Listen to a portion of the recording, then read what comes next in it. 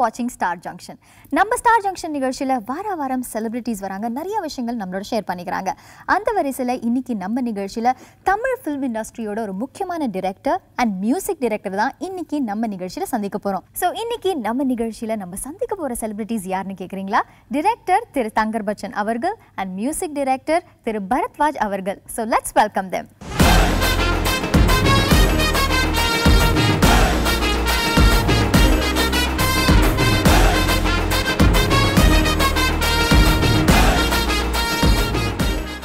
வணக்கம். Welcome to star junction உங்களை இந்த நிகழ்ச்சியில் சந்திக்கிறதுல ரொம்ப சந்தோஷம்.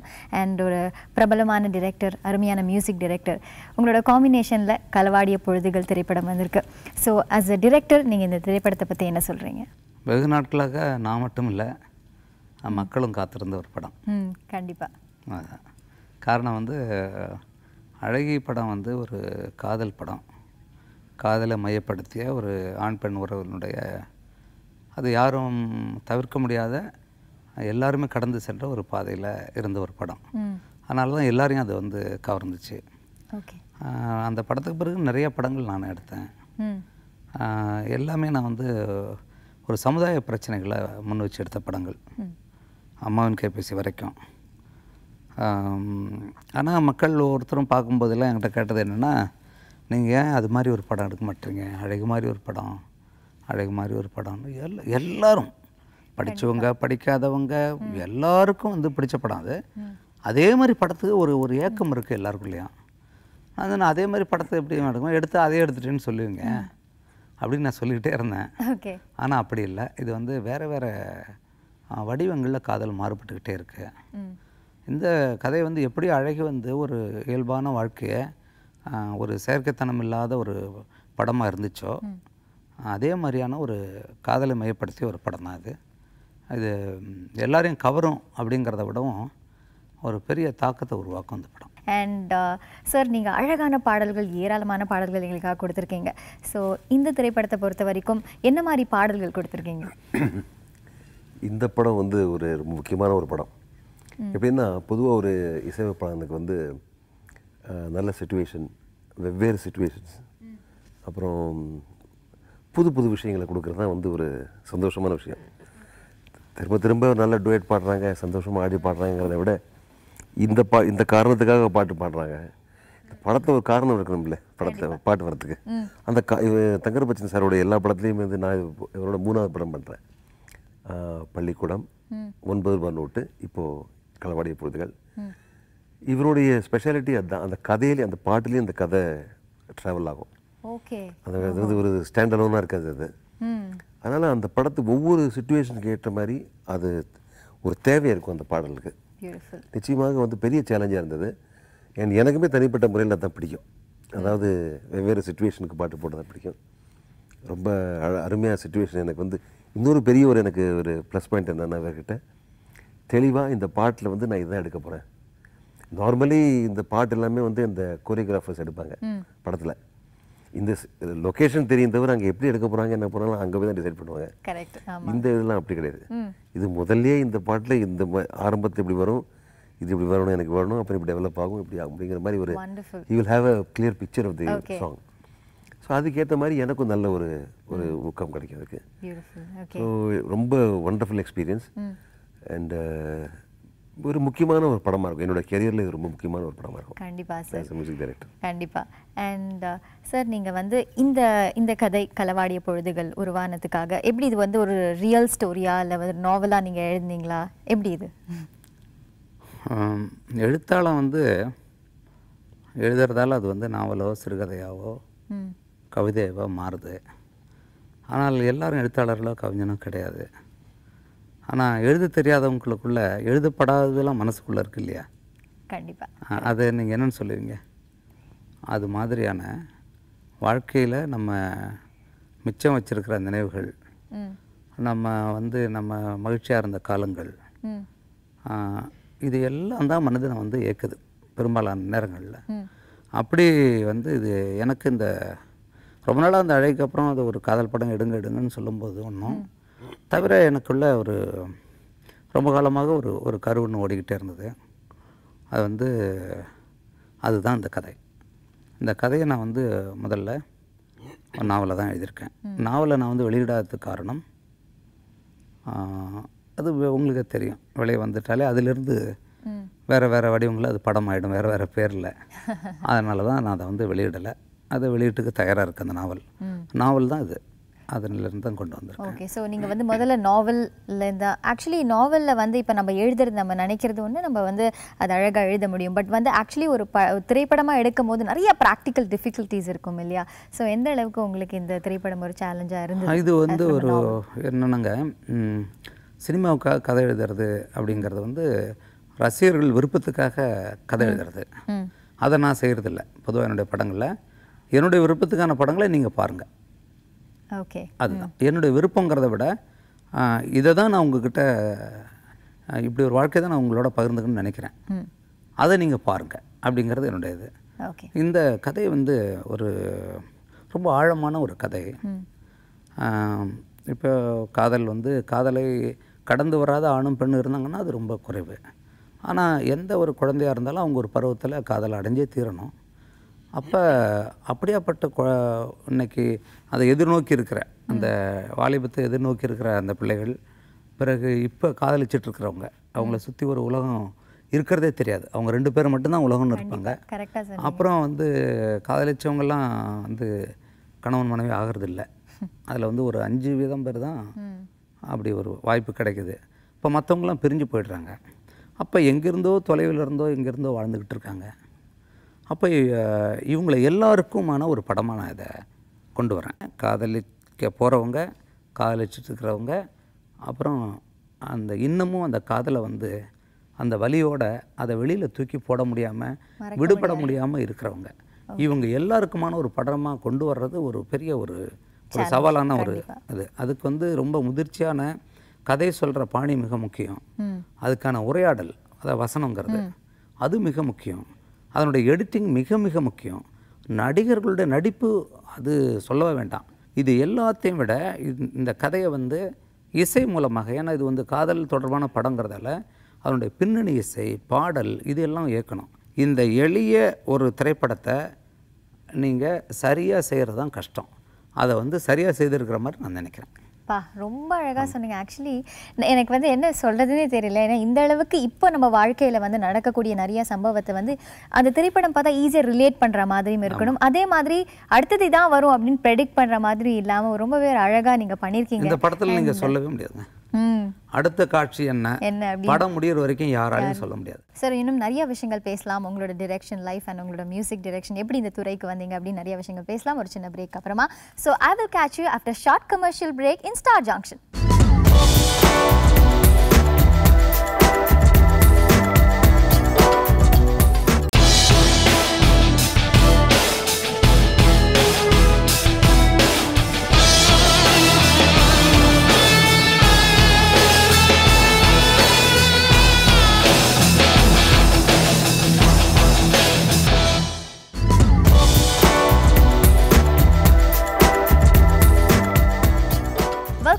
Star Junction இன்னைக்கு நம்ம நிகழ்ச்சியில களவாடிய பொழுதுகள் திரைப்படத்தோட director Thangar Bachan and music director Bharadwaj அவர்கள் இருக்காங்க. தொடர்ந்து பேசலாம். எல்லாருக்குமே தெரியும் பிரபுதேவா சார் ரொம்ப நல்லா நடிக்கக்கூடிய ஒருத்தர் அப்படின்னு சொல்லிட்டு. பட் ஒரு சென்டிமெண்ட்டா அந்த மாதிரி ஒரு இதுல வந்து நாங்க அவரை பார்த்தது இல்லை இல்லை அப்படிங்கிறதுனால எங்களுக்கு ஆமாம் ஆமா. ஸோ அதனால அந்த கேள்வியை கேட்கணும் அப்படின்னு இருந்தேன்.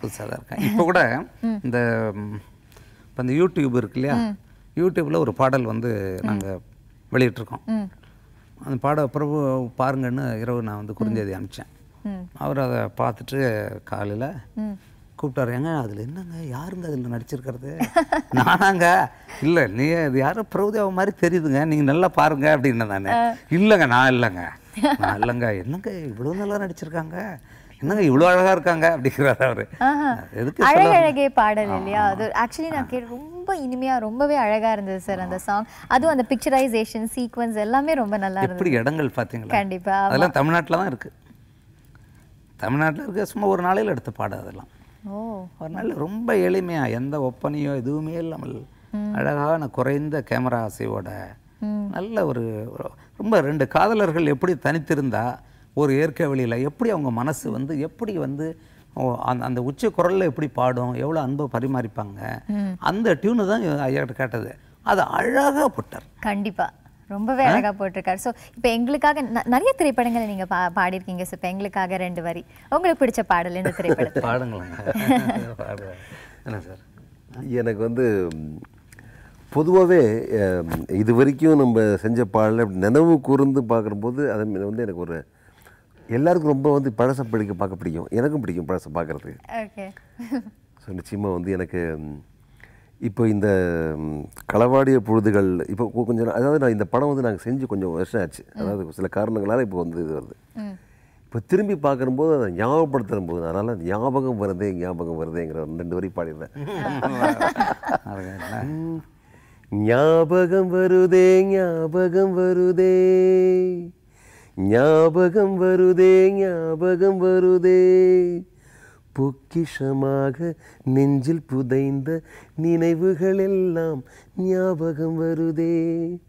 ஏதோ ஒன்றை தொலைத்தது போலே ஏதோ மீண்டும் பிறந்தது போலே தாயே என்னை நான நான கண்களினோரம் கண்ணீர் வருதே. ஞாபகம் வருதே ஞாபகம் வருதே ஞாபகம் வருதே. Beautiful sir. கண்டிப்பா. ஆனா வந்து இன்னமும் அந்த அந்த வாய்ஸ் அப்படிங்கிறது ரொம்ப அழகா இருந்தது எவ்வளோ எவ்வளோ நல்ல பாடல். அதாவது. இந்த- இந்த களவாடிய பொழுதுகளை இன்றைக்கு எனக்கு ஞாபகப்படுத்திட்டீங்க ஃபுல்லாக ஸோ களவாடிய பொழுதுகளுக்கு நான் இந்த பாட்டை டெடிகேட் பண்ணுறேன் கண்டிப்பா. தேங்க்யூ சார் ரொம்ப அழகா இருந்தது. And to. Just and I think நாங்களும் வந்து when back to the memories இல்ல அந்த பாடல்ல. இல்லை இந்த படமே வந்து ஒரு ஒரு ஒரு பீரியட் ஆஃப் டைம் தான் இந்த படம் இருக்கிறது. அதுக்கு ரொம்ப லாங் பீரியடில் பட் இந்த கொஞ்சம் இந்த கதைமா நான் வந்து சொல்லணும்னு நினைக்கிறேன். ஏன்னா மக்கள் பார்த்து பார்க்கக்கூடியது. இந்த அந்த படம் எடுக்கும் இது வந்து நடந்து முடிந்த கதை. பொதுவாக வந்து நடந்துட்டு இருக்கு அந்த நேரத்தில் நடந்துக்கிட்டு இருக்கோம். படம் ரிலீஸ் ஆகும்போது அந்த அந்த கதை நடந்துக்கிட்டு இருக்கோம். அதுக்குள்ளே வர்ற கதை வந்து ஃப்ளாஷ்பேக் அப்படின்னு காட்டுவாங்க பொதுவாக படங்களில்.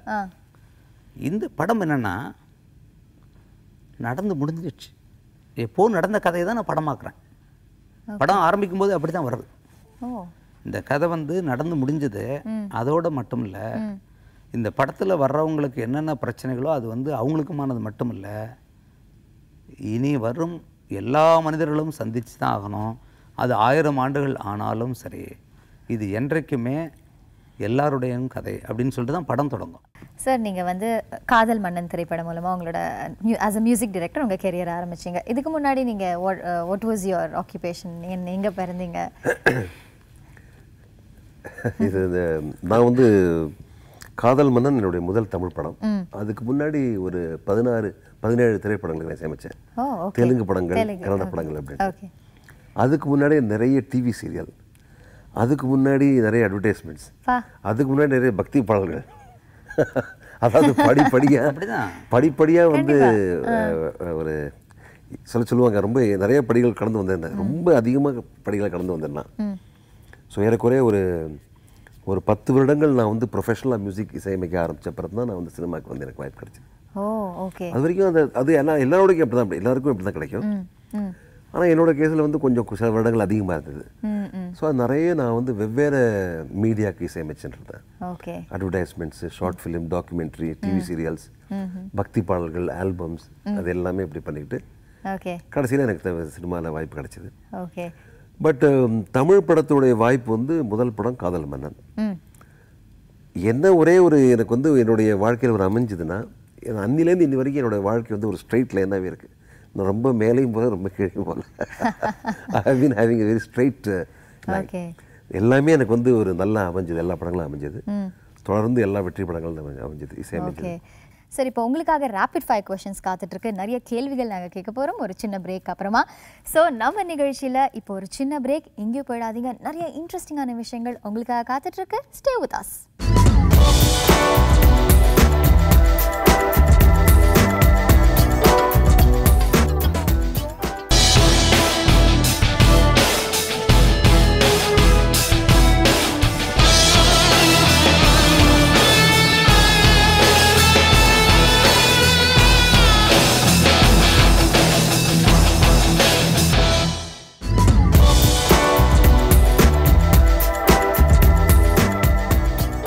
back to Star Junction இன்னைக்கு நம்ம நிகழ்ச்சியில டிரெக்டர் தங்கர் பச்சன் அவர்கள் அண்ட் மியூசிக் டைரக்டர் பரத்வாஜ் அவர்கள் நம்மளோட இருக்காங்க. தொடர்ந்து பேசலாம். சார் நீங்க வந்து நிறைய திரைப்படங்கள் எடுத்திருக்கீங்க பட் யூஸ்வலாக ஒரு நேட்டிவிட்டி பேஸ் நிறையா இருக்குது அண்ட் நீங்கள் வந்து யூஸ்வலாக ஃபாரின் இதில் வந்து ஷூட் பண்ண மாட்டீங்களா? இல்லை what is the reason behind it நிறைய நாங்கள் பார்த்தது கிடையாது உங்களோட திரைப்படத்தில்.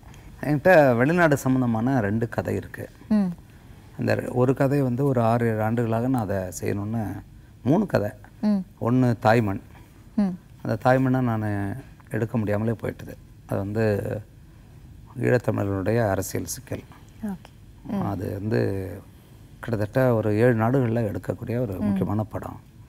அது யாரும் முன் வரல. நடிக்கவும் முன் வரல. தயாரிக்கவும் முன் வரல. ஒன்று அது அதை அலைஞ்சேன். ம். ரெண்டாவது இன்னொரு கதை இருக்குது ஒரு தாத்தா ஒரு மகன் பேரன். மூன்று தலைமுறையை சார்ந்த ஒரு கதை. ஆமாம் அது ஒரு கதை தயார் நிலையில் இருக்குது ஓகே. அது ரொம்ப முக்கியமான படமாக வரும். அதில் பாதி ப படம் வந்து அமெரிக்காவில் தான். அது தவிர இப்போ நான் ஒரு படம் வந்து அநேகமாக அடுத்த படமாக கூட அது இருக்க வாய்ப்பு இருக்குது அந்த படம் வெளிநாட்டில் பாதி நடக்குது. காரணம் இதுக்கெல்லாம் காரணம் என்னென்னா திட்டமிட்டு நான் அந்த கதையை செய்யலை. இன்றைக்கு வந்து தமிழ்நாட்டில் இருக்க தமிழருடைய வாழ்வு வந்து இன்னைக்கு வெளிநாட்டினுடைய பொருளாதாரத்தை நம்பி நான் இடம்பெயர்ட்டாங்க ஏன்னா இங்கே வந்து நம்ம அப்படி வந்து ஒரு அறிவு தீனியோட அலையிறவங்களுக்கோ அவங்களுடைய மூளை வந்து இருக்கிற அளவுக்கு தனக்கு வந்து சம்பளம் கிடைக்கல அப்படின்னு நினைக்கிறவங்களோ நம்முடைய மண்ணை விட்டுட்டு வெளியூருக்கு போயிடுறாங்க. ஆமாம் அப்போ அதனால் கதை அப்படி தான் நடக்கும். சார் உங்கள் ரெண்டு பேருக்கும் செட் ஆஃப் கொஷின்ஸ் இருக்குது நான் வந்து ஒரு வேர்டு சொல்லுவேன் அதை நீங்கள் வந்து ரிலேட் பண்ணி சொல்லணும். அது ஒரு செட் ஆஃப் கொஷின்ஸ் இன்னொன்று கேள்விகள் கேட்பேன் அதுக்கு நீங்கள் ரேட் பண்ணணும். அண்ட் அதுக்கேற்ற மாதிரி ஆன்சர் பண்ணணும். ஸோ இப்போ ஃபர்ஸ்ட் உங்களோட ஆரம்பிச்சிடலாம் சார் ஓகே முதல் கேள்வி. Thangar Bachan as a director as a cinematographer as a actor as a novelist rate பண்ணுங்க உங்களே ஃபஸ்ட்டு வந்து ஆஸ் அ டிரெக்டர் எவ்வளோ ரேட் பண்ணுவீங்க? அவுட் ஆஃப் டென் ஒரு மூணு. ஏன்னா நான் நினச்ச படத்தை எடுக்கல அதனால். சார் என்ன சார் நாங்கள் உங்களுக்கு எட்டு தரோம் சார் இல்லை இல்லை. இல்லை நான் நான் நினச்ச படங்களை ஏன் எடுக்கலைன்னா அதுக்கு மக்கள் தயாராக இருந்தால் எடுக்க தயார். அதனால். அதுக்குள்ளேயே சுருக்கிக்கிட்டு கிடக்கிறேன். ஓகே அதனால் மூணு தான். சரி. ஆஸ் அ சினிமாட்டோகிராஃபர் அதுக்கு வந்து ஒரு எட்டு. எட்டு ஓகே ஆஸ் ஆக்டர் ஆ நல்ல நடிகன் தாங்க.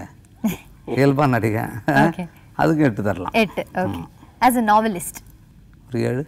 ஏழு. ஓகே நான் வந்து ஹீரோயின்ஸ் பேர் சொல்கிறேன் நீங்கள் அவங்கள பற்றி ஒரு ஒரு ஸ்ட்ராங் கேரக்டர் ப்ளஸ்ஸாகவும் இருக்கலாம் மைனஸாகவும் இருக்கலாம் நீங்கள் சொல்லணும். நந்திதா தாஸ். இந்த சமூகத்தை பற்றி அக்கறையுடைய ஒரு பெண்ணு. பெண்ணுரிமையை பெண்ணுரிமையை தொடர்ந்து வலியுறுத்திக்கிட்டு வர ஒரு பெண்ணு ஒரு பெண். ஓகே அப்படி பெண்கள் நம்முடைய நாட்டுக்கு முக்கியமாக நவ்யா நாயர். நவ்யா வந்து ஒரு ஒரு மிகச்சிறந்த நடிகை. ரொம்ப வெளிப்படையாக பேசுகிற ஒரு பெண்ணு ரதி. மறக்க முடியாத பார்வதி. எப்படி சொல்லாது? எனக்கு ரதியை வந்து எல்லாரும் வந்து ஒரு நடிகையாக பார்ப்பாங்க. எனக்கு அப்படி பார்க்கவே முடியல. இன்னும் அந்த சிவதானுவோட கஷ்டப்பட்டிருக்கிற அந்த பார்வதி எனக்கு ரொம்ப சொன்னாலே கஷ்டமாயிடும் எனக்கு. ஸ்னேகா. ஸ்னேகாவுடைய நடிப்பாற்றலுக்கு தகுந்த மாதிரி மற்றவர்கள் பயன்படுத்தலைங்கிறது ஒன்று அவங்களும் பயன்படுத்திக்கல. உமா. அடடா. தென்றல் தாமரை செல்லி? ஒவ்வொரு பாத்திரத்தோட பேர் பாருங்க ஞாபகம் வச்சிருக்கேன் பாருங்க. நிஜமா சார் கண்டிப்பா. ஏன்னா ஞாபகம் இருக்கிறது ரொம்ப கஷ்டம். அதை நான் சொல்லான் இருந்தேன் ஞாபகம் இருக்கிறது இல்லை. எனக்கு அந்த பேர் தானே அதோட தானே இருக்கும். கேரக்டர். ஓகே அந்த ஒரு உமா என்னுடைய படம் நடிக்கும்போது பதினேழு வயசுன்னு நினைக்கிறேன். அந்த பாத்திரம் பாருங்க. யாரும் தொட முடியாத ஒரு பாத்திரம். தமிழச்சின்னு சொல்லிட்டு யாரையோ கொண்டு வந்து காட்டிக்கிட்டு இருக்காங்க எல்லாம். நீங்கள் பார்த்தீங்கன்னா தாங்க முடியல. பூமிகா. அடடா அது என்ன? சே பூமிகா வச்சு அடுத்த படம் செய்யணும்னு ஆசைப்பட்றேன். ஆனால் அவங்க நடிப்பாங்களான்னு தெரியல. தெரியல. தெரியல. தொடக்கத்தில் எனக்கு தெரியல. எனக்கு கொஞ்சம் பாதி மனசோட தான் நான் பூமிகாவை இந்த படத்தில் ஒப்பந்தம் செய்தது. ஆனால் அந்த பொண்ணு வந்து எங்கேயோ போயிட்டு கடைசி படத்தினுடைய ஒரு உச்சக்கட்ட காட்சி இருக்கு. ஒரு ஏழரை நிமிடம் பேசுகிற ஒரு காட்சி இருக்கு. ஒரே ஷாட்டில் எடுத்திருக்கேன். பெண்ணுக்கு மொழி தெரியாது. ஆனால் பின்னாடி சொல்லித் தராதீங்க அப்படின்னு சொல்லுது. ஆனால் நடிக்கணும். அதில் எப்படி சொல்ல தானே அப்போ அந்த பாத்திரத்தை முழுமையாக உள்வாங்கிட்டாங்க.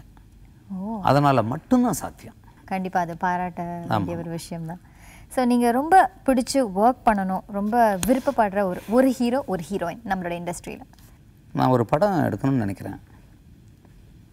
ரஜினிகாந்த் வச்சு.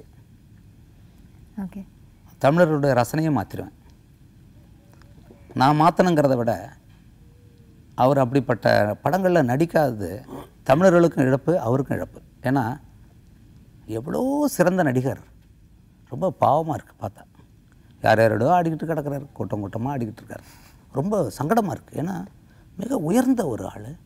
அவர் போதும் சம்பாதிச்சிட்டாரு எல்லாருக்கும் அவருக்கு. என்ன வேணும்? ஒரு படம். நான் யார்? அப்படின்னு காட்டு ஒரு படம் நடிங்க என்ன பிரச்சனை? ஒரு ஐம்பது நாள் தானே? அவர் தான் மற்றபடி எனக்கு ஒன்றும் வேறு இதில் நடிகை நடிகை இப்போ யாரும் இல்லைங்க. யாரும் இல்லை. இப்போ யாரும் அது மாதிரி எனக்கு தெரியல. பழைய நடிகை Lakshmi. So yesteryear heroines இருக்காங்க இல்லையா? அந்த காலத்தை நடிக்க அந்த நம்ம சாவித்ரி அம்மா லக்ஷ்மி நிறைய பேர் இருக்காங்க. ஸோ அவங்கள வச்சு ஒரு படம் எடுக்கணும் அப்படின்னு நினச்சிங்கன்னா யாரை நீங்கள் ப்ரிஃபர் பண்ணுவீங்க? காஞ்சனா லட்சுமி. ஓகே ரெண்டு பேரும். அது என்ன தெரியல எனக்கு. அப்போ சிறு பையனாக இருந்த காலம். எனக்கு என்னமோ அவங்க கிட்ட அது ஒரு ஒரு இனம் புரியாத ஒரு ஈர்ப்பு. நான் பார்த்துக்கிட்டே இருப்பேன். நம்ம தமிழ் இண்டஸ்ட்ரியில் ஒரு கம்ப்ளீட் ஹீரோ எக்ஸிஸ்டிங் இப்போ நம்ம தமிழ் இண்டஸ்ட்ரியிலனா யாரை சொல்லுவீங்க சார் ஹீரோங்கிறது என்னன்னு நினைக்கிறீங்க? எனக்கு புரியல அது. உங்களோட டெஃபினிஷனில் ஹீரோனா என்ன? ஹீரோங்கிறவன் வந்து மக்களில் ஒரு ஆளாக இருக்கிறோம் இந்த சமூகத்தின் மேலே பற்று கொண்ட ஆ, தன்னை முழுமையாக அதில் ஒரு அங்கமாக இருக்கிற ஒரு ஆளாக இருக்கணும் ஆனால் ஹீரோங்கிறவங்க எப்படி இருக்குன்னாங்க அது தனி ஒரு ஒளி பின்னாடி இருக்கிற மாதிரி நடக்குது அது ஹீரோ கிடையாது. புரியுதுங்களா? அதனால் நல்ல நடிகர்கள் நம்மக்கிட்ட இருக்காங்க. எல்லாருமே தனுஷ் சிறந்த நடிகர் சூர்யா என்ன? சாதாரண நடிகரா என்ன? அஜித் சாதாரண நடிகரா? விஜய்? எல்லாருமே சிறந்த நடிகர்கள். ஆனால் மோசமான படங்கள். அங்கே தான் பிரச்சனை. அவங்களுடைய திறமைக்கான படங்களை அவங்க ஆண்டுக்கு ஒரு படமாவது செய்யணும். அது என்கிட்ட நடிக்கணும்னு அவசியம் இல்லை. ஒரு படம் செய்யுங்களேன். அதுதான். சார் இன்னும் நிறைய விஷயங்கள் பேசலாம். உங்களோட டிரெக்ஷன் லைஃப் அண்ட் உங்களோட மியூசிக் டிரெக்ஷன் எப்படி இந்த துறைக்கு வந்தீங்க அப்படின்னு நிறைய விஷயங்கள் பேசலாம். ஒரு சின்ன பிரேக் அப்புறமா. So I will catch you after short commercial break in Star Junction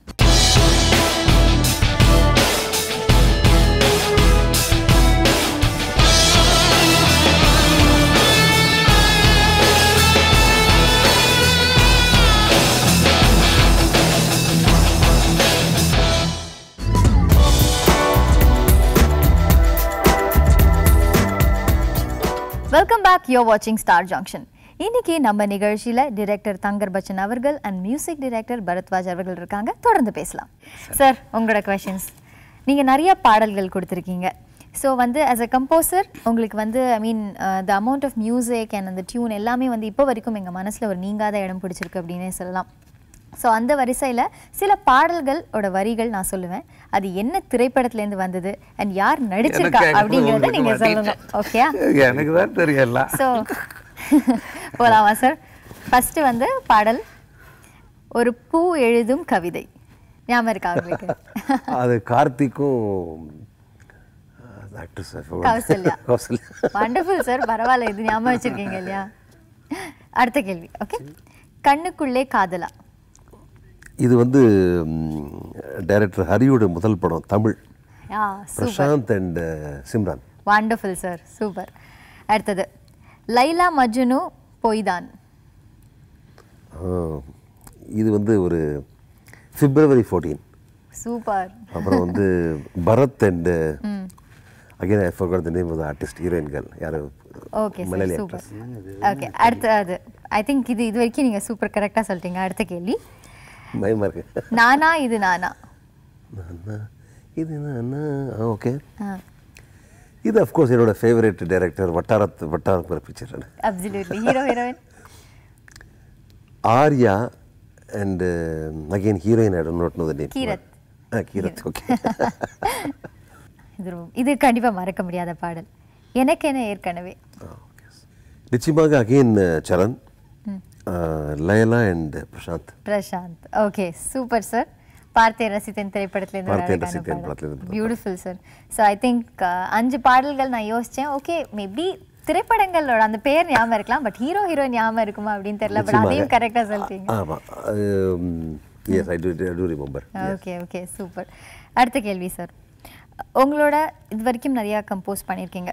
but உங்களுக்கு பிடிச்ச ஆல் டைம் ஃபேவரட் சாங்ஸ் நீங்க கம்போஸ் பண்ண பாடல்கள்ல ஒரு மூன்று பாடல்கள். நான் வந்து எனக்கு ரொம்ப பிடிச்ச பாடல் வந்து என்னை தமிழ் திரைப்படத்துக்கு அறிமுகப்படுத்திய ஒரு பாடல்.